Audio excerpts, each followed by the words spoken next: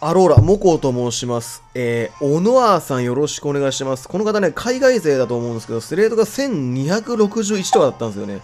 で、僕も1300台にいよいよ突入してしまったので、1300台対1200台の戦いというのをちょっと今回皆さんに、えー見ていただこうかなと思います。ちょギギアル、ギ、ギギアル、初手ギギアルはちょっとないね。メガヤンまで行くか。メガヤマから入って、で、ギギギアルで、黒バットあたりをちょっと起点にして積んでいって、どうしよう。意外とこれヘルガ、低レートだったらヘルガーのさ、カウンターとか、多分道連れとか多分警戒しないと思うんだよな。で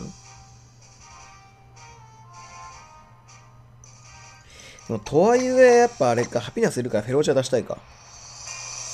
じゃあよろしくお願いします。もういいよ、俺今後もう、バラエティ芸人になるから、ポケモンに関してはもうガチめ、ガチで目指すのも諦めた。無理。好きなポケモン、捨ててまで勝ちてと思わねえから、俺このゲームで。もう月光画とか普通に使ってきたしな、こいつな。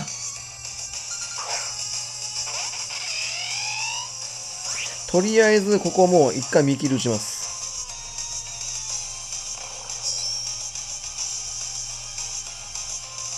メザパ、え、嘘、メザパ持ってんの？え、だって普通に、え、ビビるんだけど、普通にメザ炎とか持ってんだ。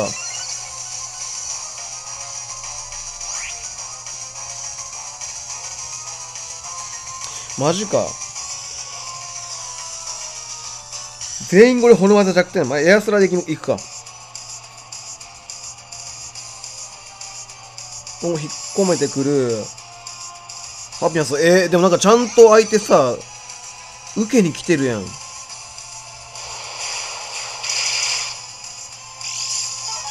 食べ残しかな？あー、なるほど。1200とはいえ侮れんな。しっかり基礎は抑えてきてやがる。ここメガエンマじゃどうあがいてもやっぱ突破ができないので、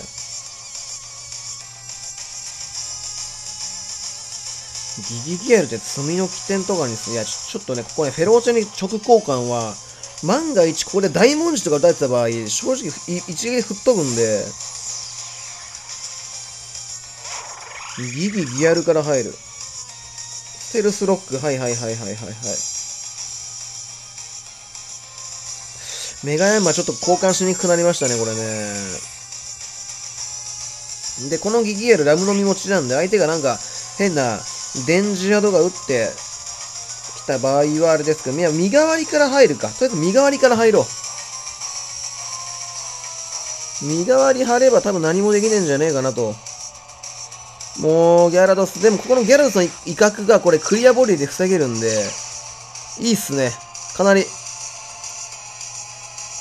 いや、しかも、これ、しかもギャ、ギャラに対して、ワイルドボルトあるから、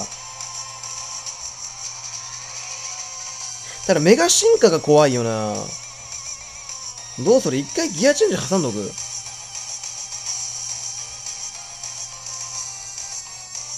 メガ進化してくるか、ここ。まあ、一回でもギアチェンジ挟むに越したことない。おお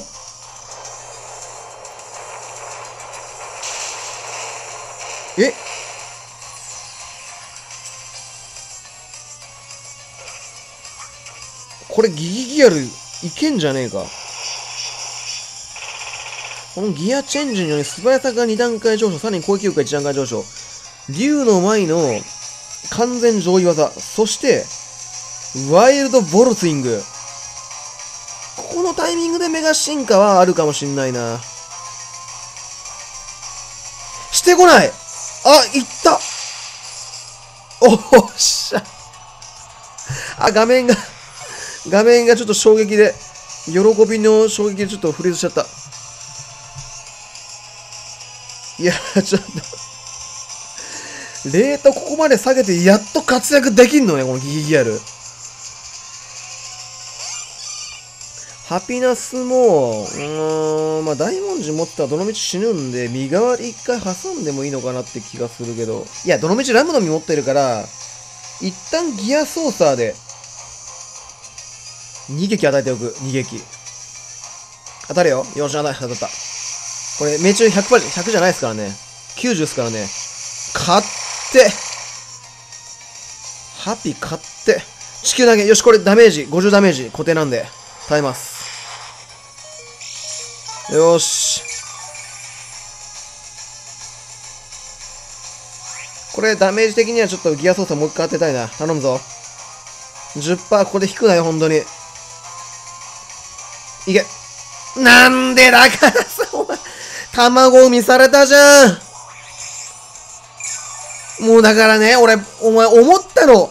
ポケモンってやっぱおかしいって。なんでもともと不遇なポケモンの、ね、大事な専用技が100%じゃねえんだよ。使わせる気ねえだろ、ゲーフリ。なあマジで。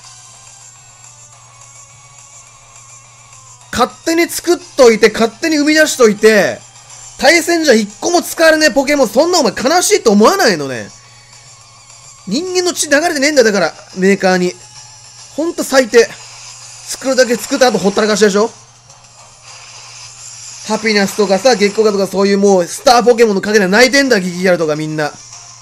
おかしいわ。なんで100%にしねえ ?100% でも許されるだろ。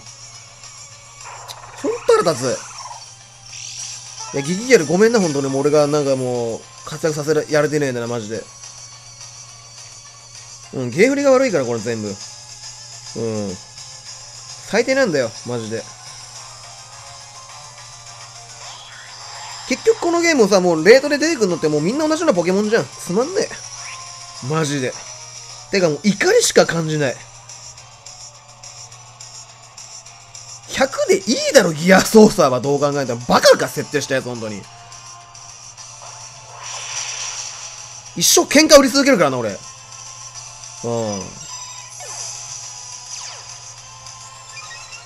ただ、この下に関しては勝ったわ。この試合に関しては勝った。ただ、あれが外れてたら負けるなんて状況になって、で、実際外して、終わりましたってなっても、多分俺もうその瞬間もうポケモン売ってたんじゃないかなと思いますね、これ。これトンボでいいわ。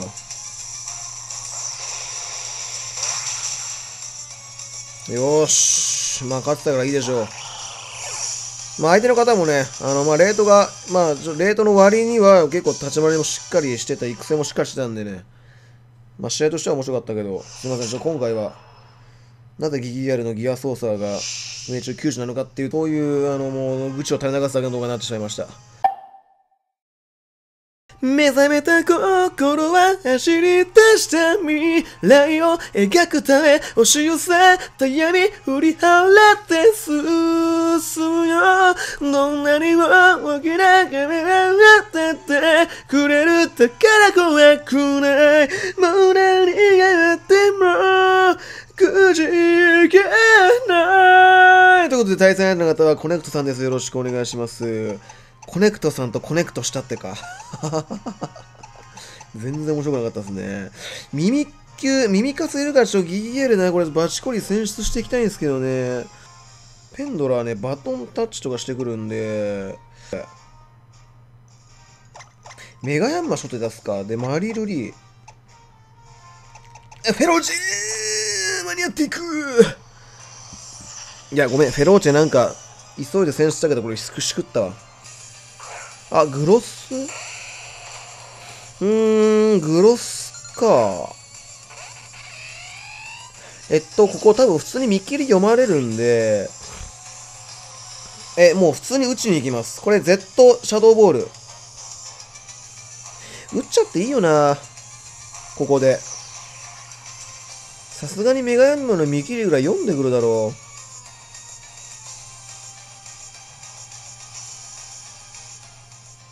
う。よし、取った。メガ進化もしてきてないですね。ミタグロス。まあ多分初手に出してるからステルスロック巻いてくんのかなっていう気がするけど。さあ、無限暗夜へのいざないを受けてみろ。ワンチャン一発で倒せないかな無理か。さすがにそれ無理ねえか。え？いける？おおいったーナイス多分、何かしらの補助技打ってたんだろうな。うん、やっぱ、ここでミッキーではちょっとさすがに弱気すぎたからね。こうなるともう爆発的なアドバンテージを生み出せるわけよ。耳かす。うん。えー、っと、エアスラで昼見狙いいきます。